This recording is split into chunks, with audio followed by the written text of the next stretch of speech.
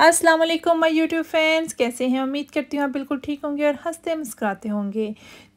और मुझे अपनी दुआओं में ज़रूर याद करते होंगे। तो आज हम बना रहे हैं जलेबी, वो भी समन के किचन में, समन के स्टाइल में बहुत इजी तो आप भी मेरे साथ ये रेसिपी बनाएँ और मज़े से खाएँ। जलेबी हर एक की मज़ेदार स्वीट है और सब इसको एंजॉय करते हैं।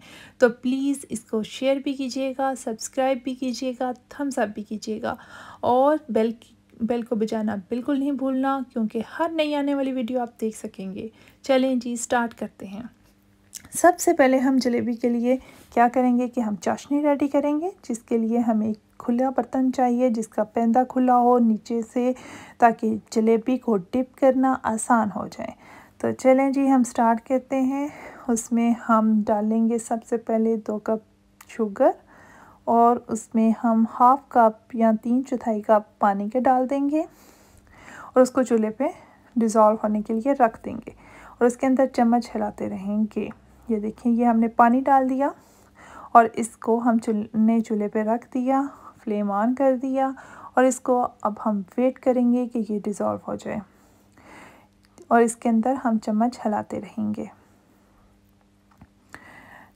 जलेबी बहुत इजी मैं बहुत सिंपल तरीके से बताना सिखा रही हूँ। जलेबी को मुख्तलिफ़ तरीक़ों से बनाते हैं, लेकिन ये सबसे इजी तरीका है इसके बनाने का। और सबसे पहले हम चाशनी रेडी कर रहे हैं ताकि बाद का मेथड हम रेडी करके चाशनी हमारी रेडी होगी तो हम इसके अंदर जलेबी को डाल लेंगे। जलेबी हर एक की पसंद की चीज़ है, सब इसको लाइक करते हैं, दूध के साथ खाएँ, चाय के साथ खाएँ, वैसे खाएँ, हर एक की फेवरेट चीज़ है। और अगर वो घर में बन जाए तो क्या ही बात है।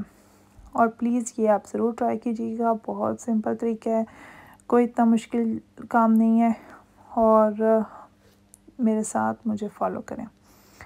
चलें जी, ये देखें चीनी अब डिज़ोल्व हो रही है थोड़ा सा ही वेट करना पड़ेगा। चीनी को हम जब अंदर से ही मिक्स हो जाए तो फिर हम इसके अंदर डालेंगे वो सब्ज़ इलायची। तीन से चार वो डाल देंगे। अगर आपके पास पाउडर है तो आप वो भी डाल सकते हैं। लेकिन मैं इसके अंदर इलायची खोल के डाल रही हूँ। और उसके बाद हम एक टीस्पून लेमन जूस डालेंगे। अगर आपके पास ताज़ा लेमन है तो आप वो भी डाल सकते हैं। अगर आपके पास जूस है तो आप वो भी डाल सकते हैं। जूस ये लेमन डालने का मतलब ये होता है कि आपकी चाशनी ज़रा गाढ़ी होती है तो वो उसको क्रिस्टलाइजेशन करने में मदद मिलती है। और उसको दो तीन बॉयल आ जाएँगे तो आपकी चाशनी रेडी हो जाएगी। चाशनी को चेक करने का तरीका ये होता है कि जब उसके अंदर चीनी बिल्कुल डिज़ोल्व हो गई है। और आप चम्मच के साथ ऊपर हिलाएँ तो उसका एक कतरा एंड पे गिरे तो समझेंगे वो चाशनी आपकी गाढ़ी और रेडी हो चुकी है। चलें जी, ये देखिए मैंने लेमन भी डाल दिया, इलायची भी डाल दी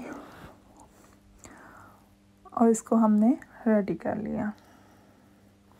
एक दो बॉयल आएगा और उसके बाद ये देखिएगा, इसकी शक्ल चेंज हो जाएगी और ये रेडी हो जाएगी। और हम इसको फिर चूल्हे से उतार लेंगे।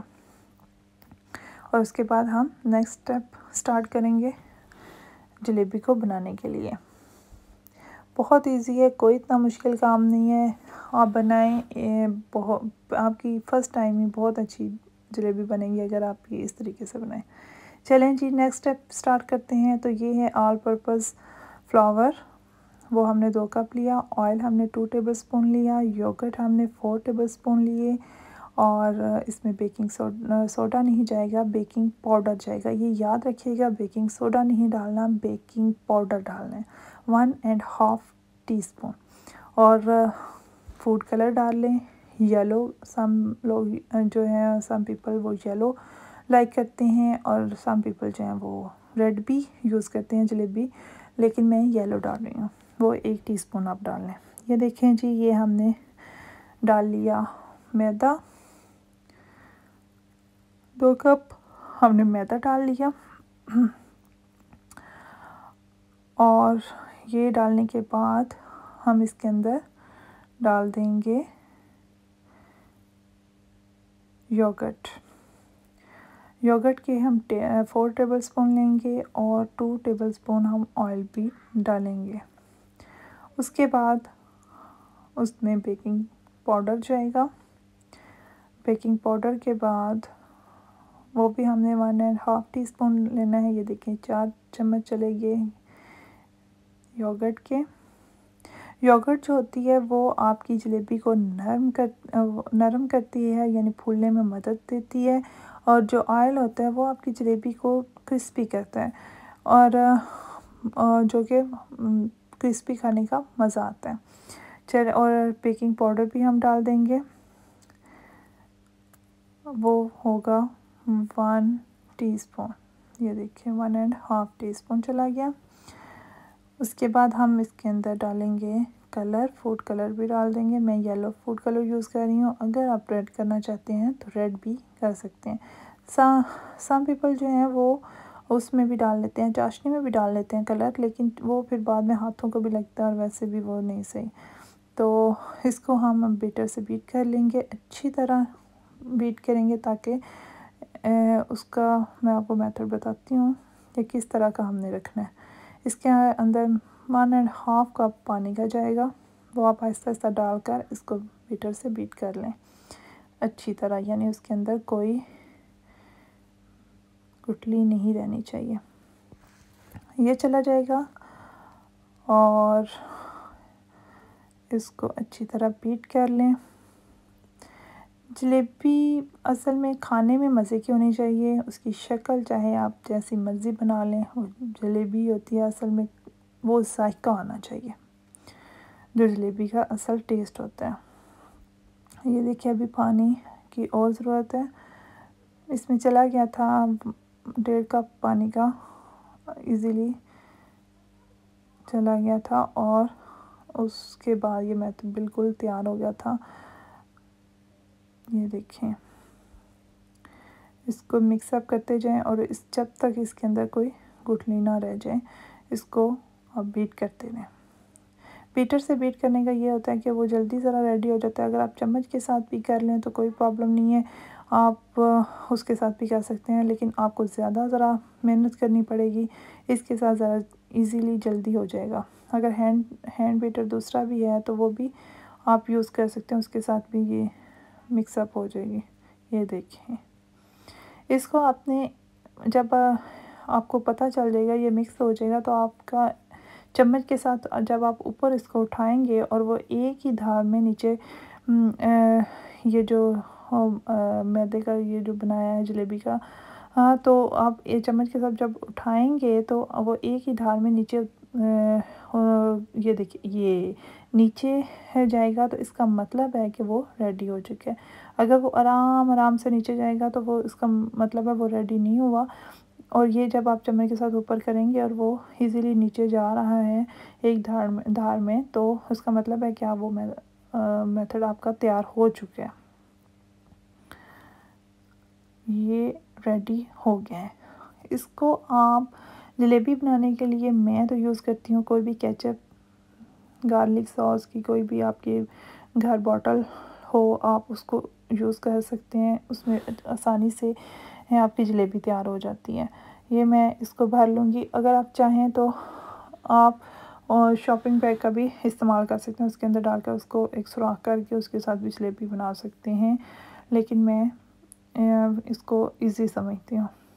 जलेबी को देसी घी में बनाने का एक अपना ही टेस्ट है, आता है क्योंकि वो बाज़ारी सी उसका फ्लेवर आता है बाज़ारी फील होती है क्योंकि जलेबी को देसी घी में ही बनाया जाता है।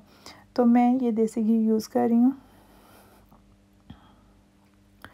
और ये डालेंगे फ्राई पैन में, जिसमें जलेबी डिप हो जाए, इतना डालें जिसमें अच्छी तरीके से वो फ्राई हो जाए। इसका वेट करेंगे कि ये अब ऑयल वो घी गर्म हो गया और इसको हम जलेबी की शक्ल देनी शुरू करेंगे। और अगर आप बारीक करना चाहते हैं, बारीक रखें, मोटी बनाना चाहते हैं, जिस तरह की बनाने, बनाना चाहते हैं, आप बना सकते हैं। ये देखें, ये शेप दे दें। देखिएगा, आपकी जलेबी बहुत अच्छी और क्रिस्पी और बहुत मज़े की बनेगी। इंशाल्लाह। और आपको बहुत अच्छी भी लगेगी। असल में जो चीज़ अपने हाथ से बनाई जाए, घर में बना के खाई जाए, और आप, उसका तो मज़ा ही और है। क्योंकि आपको ये बाहर से लेने की बजाय उसमें तरह तरह के जरासीम चीज़ें होती हैं। आप घर में बना के खाएँ तो आपको एक अपना हाथ का टेस्ट और एक मज़ा, वो एक डिफरेंट ही होगा कि आपने खुद ये चीज़ बना के खाई है। और ये तो हर एक की पसंदीदा चीज़ है। इसको तो हर एक का दिल करता है कि बना बना के खाएँ। आपका जिस टाइम दिल करे, आप ये मिनटों में बना सकते हैं और ये बहुत ही सिंपल रेसिपी है। इस, ये देखें और आपको ये पता चल जाएगा, ये क्रिस्पी हो गई है। क्योंकि गोल्डन ये हो जाएगी और आप जब उठाएँगे तो आपको फील होना शुरू हो जाएगा, ये रेडी हो गई है। जब ये रेडी हो जाए तो इसको आप चाशनी के अंदर डालते जाएँ। ये देखें जी, ये हो रही है आप गोल्डन ये मैं आपको एक दफ़ा निकाल के दिखाती हूँ, ये देखें। ये हो जाए, आप इनको चाशनी के अंदर डाल दें। तो ये हो गई आपकी जलेबी रेडी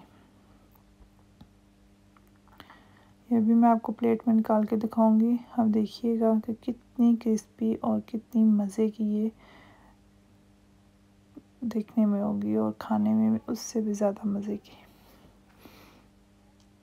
अगर आप लोग मोटी पसंद करते हैं तो थोड़ा सा उसे डबल उसकी एक बाल दे दें ताकि वो मोटी हो जाएगी। अगर आप बारीक खाना चाहते हैं तो वो फिर एक ही इसी तरह गोल सर्कल में आप बना लें। अब मैं एक और डालूँगी। ये देखें। और ये ऑयल से ऊपर खुद ही आ जाएगी। जब आपका ऑयल सही गर्म होगा तो ये आप डालेंगे तो ऑयल से ये बर्तन से ऊपर खुद ही आ जाएगी। इसका मतलब है कि ऑयल का टेम्परेचर बिल्कुल ठीक है।